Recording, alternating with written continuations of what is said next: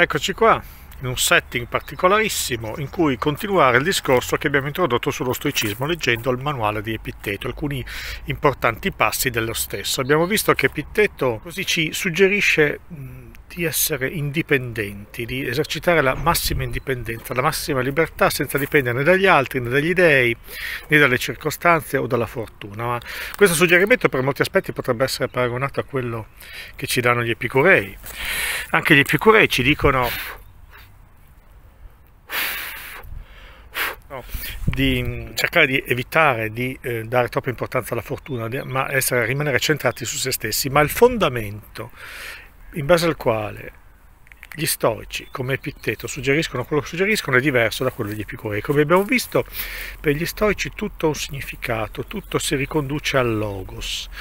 Eh, l'idea è suggerita anche da Aristotele, no? le cose sembrano avere uno scopo, un fine, un ordine, solo che per, mentre per Aristotele non tutto è così perfettamente ordinato, ma si danno situazioni eh, eh accidentali che in qualche modo eh, non, non rispettano i fini a cui la natura tende. Invece per gli stoici tutto è assolutamente necessario, ogni singolo il piccolo dettaglio di ciò che accade è in qualche modo voluto, programmato per così dire dalla natura o da Dio. Tutto è assolutamente necessario per capire perché questo e come questo sia possibile si può naturalmente fare riferimento anche alla logica stoica che è un po' diversa da quella aristotelica e costituisce simbolicamente il guscio di quell'uovo costituito dallo stoicismo. In cosa consiste questa logica degli stoici? Questa logica degli stoici fondamentalmente consiste, diciamo così, mm, nel, in, una, in una logica di tipo proposizionale, tale per cui, ad esempio, se A allora B, ma A dunque B. Se A allora B, non B, dunque non A. Insomma, è costituita una serie di ragionamenti cosiddetti anapodittici, dimostrativi, che sono assolutamente vincolanti. Non si riferiscono a sostanze e, e loro qualità o predicati, ma si riferiscono a situazioni comprese nella loro globalità. La cellula minima della logica storica è la proposizione, non il predicato o il soggetto. E tuttavia, al di là del, dell'aspetto dire, formale di questa struttura, quello che a noi interessa è un'altra cosa. Quello che a noi interessa, dicevo, un'altra cosa. Che cos'è quello che a noi interessa? Mm, supponiamo di avere due proposizioni di questo genere. Eh, se oggi il cielo è a pecorelle, domani pioverà. Eh, questa proposizione può essere vera o falsa. Se è vera, è vera oggi, non sarà vera domani, è vera oggi. Non è possibile che se il cielo oggi è a pecorelle, domani pioverà, eh, pioverà e non pioverà. O pioverà o non pioverà. Non è possibile che domani accadano due cose diverse e opposte, può accaderne una sola.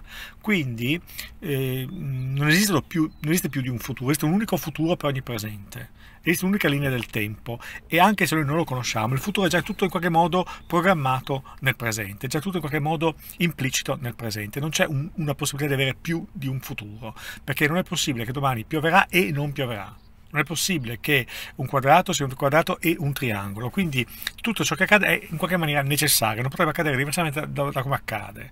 Eh, questa idea che tutto è necessario, che si chiama determinismo e verrà ripresa poi dal protestantesimo dalla eh, concezione scientifica moderna, eh, cosiddetto nella versione del meccanicismo cartesiano, era già implicita nello stoicismo, cioè l'idea che tutto accade in modo necessario, ma gli stoici pensano che ciò che accade necessariamente è in qualche modo predestinato da Dio dal logos, ha anche un significato.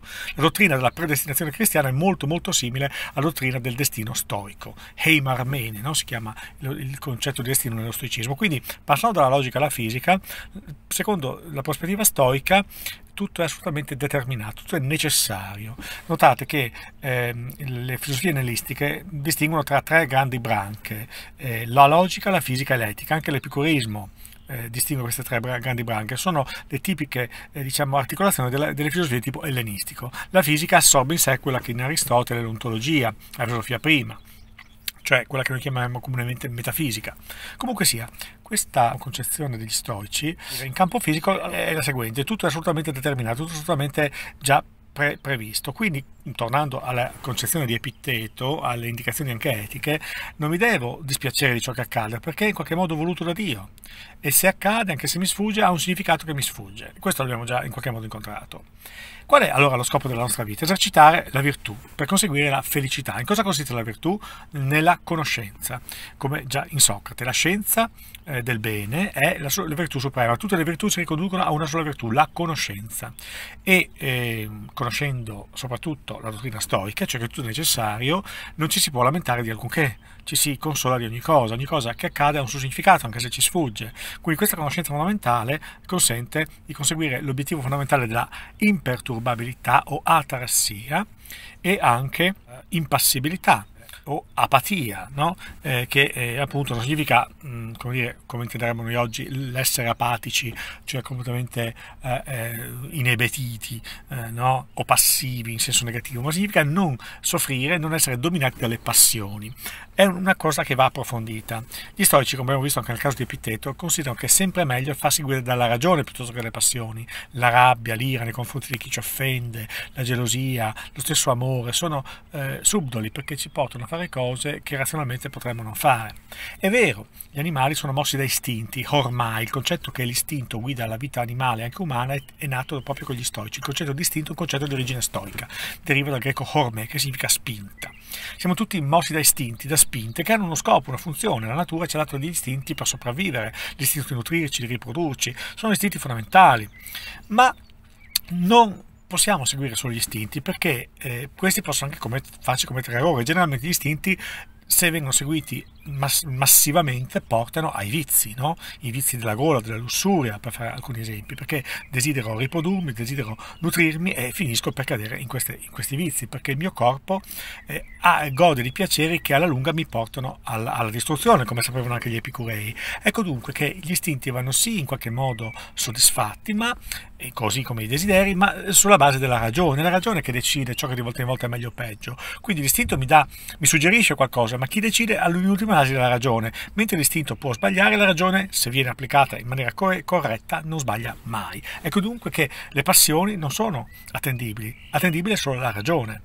È vero che le passioni hanno una, una, motivazione che in fondo è razionale, un logos inconscio, logos alogos, dicono gli storici, ma questa ragione implicita, che si trova negli animali e nelle piante, noi la possiamo esplicitare e verificare perché la ragione cosciente è in grado di controllare gli istinti, quindi tutto deve essere fatto secondo ragione, agire secondo natura per l'uomo e agire secondo ragione. La natura è eh, di per sé provvidenziale, ma in noi si manifesta come ragione, quindi la dottrina fondamentale di Seneca, Epitteto, Marco Aurelio, secondo la quale dobbiamo agire secondo natura, è, è, significa agire secondo ragione, per quanto riguarda l'uomo. Ehm, Abbiamo quindi parlato di istinti, delle passioni e quindi la virtù. La virtù consiste nell'esercitarsi ad agire secondo ragione. Non è una cosa naturale, è una cosa, o meglio, è naturale ma non è così semplice, perché richiede esercizio, richiede una forma di autocontrollo, in greco encrateria. Una volta che abbiamo esercitato questo controllo possiamo vivere in qualche modo felici. La felicità consiste nell'esercitare la virtù. Mm, qui lo stoico mm, distingue un po' eh, lo, lo, dire, questo aspetto, lo articola in modo un po' diverso da come lo fa l'Epicureo. Per l'Epicureo è fondamentale non soffrire. Se non soffro sono felice perché non sono turbato e se soffro ho delle strategie per soffrire il meno possibile.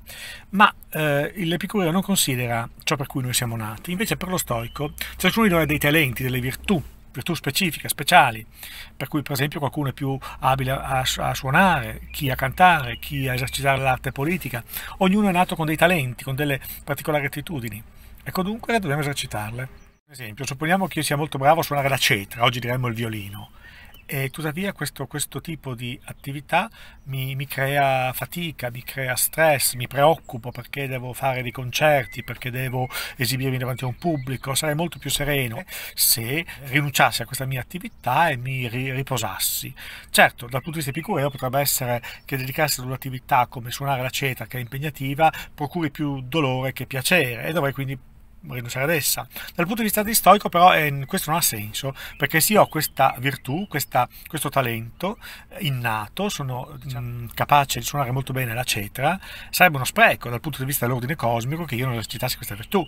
E dunque è bene che io eserciti questa virtù, sarò felice e realizzato, diremmo noi, se faccio ciò per cui sono nato, ciò a cui la mia natura mi porta. Ecco dunque che non è la ricerca del piacere come illusione della sofferenza l'obiettivo, ma una felicità che si consegue realizzando la propria virtù, ciò per cui siamo nati, qualunque essa sia, anche se dovessimo per questo, per, pur di esercitare questa virtù, sacrificare noi stessi, come è stato il caso di Socrate, o come è stato il caso dei grandi filosofi come eh, eh Zenone, il quale pur di non soddisfare gli appetiti del tiranno, fu disposto a venire bruciato vivo nel toro, nel famigerato toro di Falaride. No? E, ehm, si può anche morire pur di poter essere se stessi, perché esercitare la propria virtù è realizzare se stessi.